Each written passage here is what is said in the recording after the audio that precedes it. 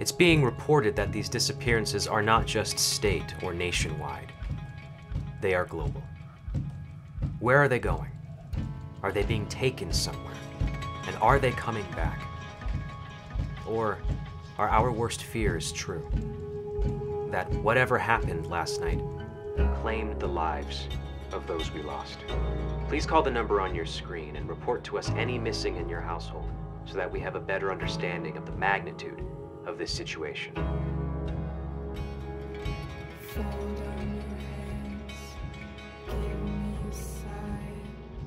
Like every time people start dying, they gotta turn it into some sort of political thing to care. Do you think this will ever end? Do you think we're just gonna keep going down 50% every day forever? I don't know.